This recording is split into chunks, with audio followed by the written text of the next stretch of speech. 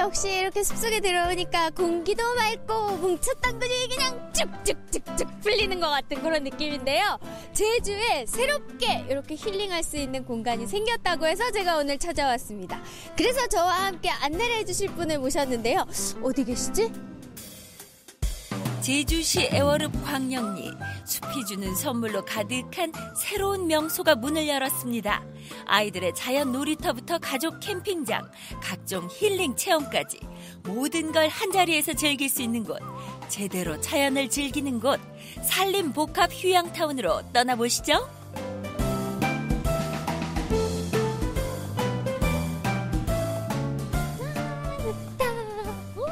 진짜 공기가 좋네. 아, 안녕하세요. 아, 안녕하세요. 야, 역시 숲속에 와서 그런가 공기도 맑고 기분이 좀 상쾌해지는 그런 느낌이 나는데 네. 근데 굉장히 좀 규모가 있는 것 같아요. 음, 어떤 예. 곳인지 소개를 좀 해주세요. 우리 저희 산림조합, 제주산림조합에서 이 고유 사업을 기반으로 해가지고 제주 도민이라든지 관광객들이 각종 체험하고 놀이하고 교육을 할 수 있는 한 장소에 이렇게 모- 몰아놓았습니다. 그래서 숲속 쉼터, 온 가족이 즐길 수 있는 숲속 쉼터입니다. 푸르른 숲속은 치유의 공간이죠. 맑은 공기 속 피톤치드와 음이온, 소리와 햇빛을 느끼며 건노라니 꽃들이 가득. 그야말로 힐링의 숲속 쉼터입니다. 아, 이렇게 땅을 밟고 걸으면서 새소리를 들으니까 어우 진짜 좋네요. 아, 예. 이 새소리가 참 좋죠. 어, 좋아요. 도시근교 15분 정도 거리거든요, 여기가. 음. 가까운 지역에 이렇게 새소리도 나고, 낙엽도 밟고, 참 편안한 장소입니다. 어린이집과 유치원 등의 숲속 현장 체험학습장으로도 인기가 높은데요. 아이들이 뛰어놀 수 있는 유아숲 놀이체험 시설도 마련돼 있습니다. 이번엔 뭘 할까? 표정이 즐거운데요. 오호, 바로 짚라인. 안전을 위해 헬멧을 잘 챙겨 쓰고 숲속을 날아가는데요. 너무 높지는 않은 편이어서 아이들에겐 속도감을 즐기기에도 딱 좋다고 하네요. 무서울 법도 하건만 아이들은 마냥 즐거운 모양입니다. 우와! 오, 자세부터가 우리 남다른 친구. 짚라인 타보니까 어땠어요? 재밌었어요. 재밌었어요. 기분이 어때요? 좋아요. 백문이 불여일견 직접 해보지 않고 그 즐거움을 말할 수 없겠죠? 혜진 씨 어때요? 아니 이렇게 타고 나니까 진짜 순식간에 바람이 싹 불면서 아무 생각이 안 들고 스트레스 진짜 최고로 잘 풀릴 것 같아요.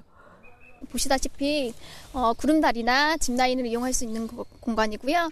뭐 담력이나 그런 부분을 키울 수 있는 그런 공간입니다. 어, 그러면은 뭐 연령대에도 제한이 있는 건가요? 아니면은 모든 사람들이 어, 이용할 열- 수 있나요? 모든 사람이 지금 이용할 수 있고요. 지금 뭐 평일 같은 경우는 어린이집 단체 그런 부분이 뭐 다섯 살, 뭐 네 살까지 지금 오시고 계시거든요. 이 좋은 곳에서 하룻밤 머물고 싶다면 걱정은 NO. 텐트가 있는 숲속 캠핑장부터 카라반까지 준비돼 있네요. 여기는 또 글램핑하고는 또 다른 분위기네요. 아, 그렇죠. 여기는 글램핑이 아니라 캐러반이라고 해서 해가지고 예, 안에 이게 숙식할 수 있는 와 들어가도 되죠? 아, 되죠.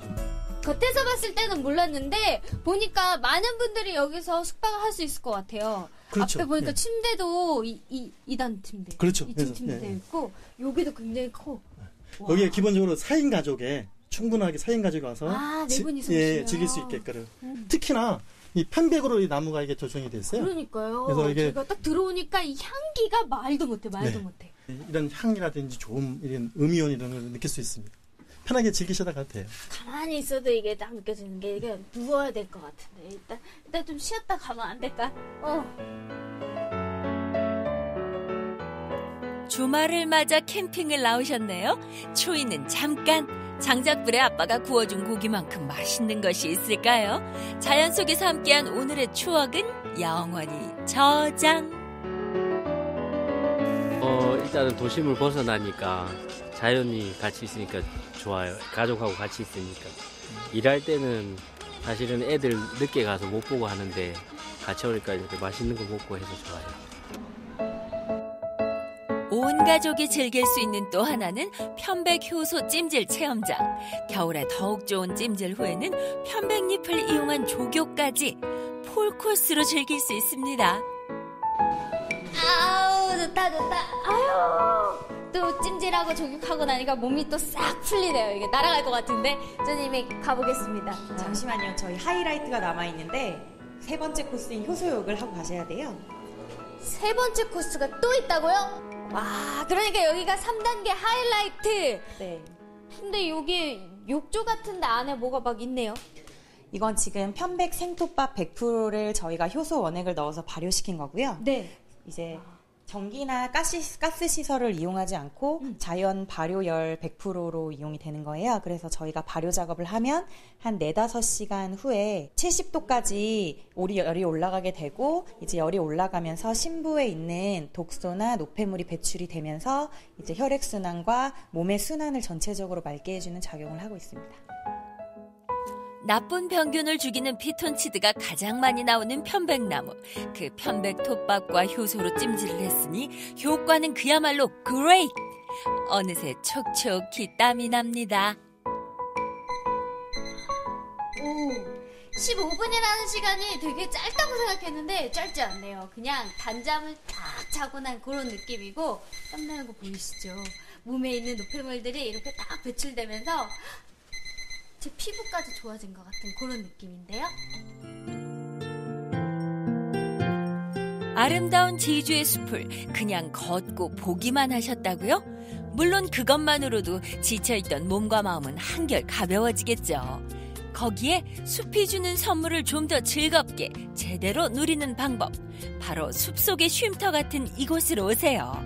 다이나믹한 숲속 놀이터, 온 가족이 즐기는 낭만 캠핑, 건강함이 느껴지는 찜질 체험까지. 산림 복합 휴양타운에서 제주의 산림 자원을 누리세요.